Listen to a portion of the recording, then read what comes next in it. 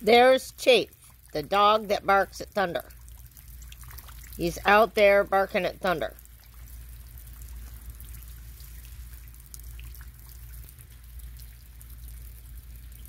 Oh, he's disappearing, but he's over there and he's barking at thunder.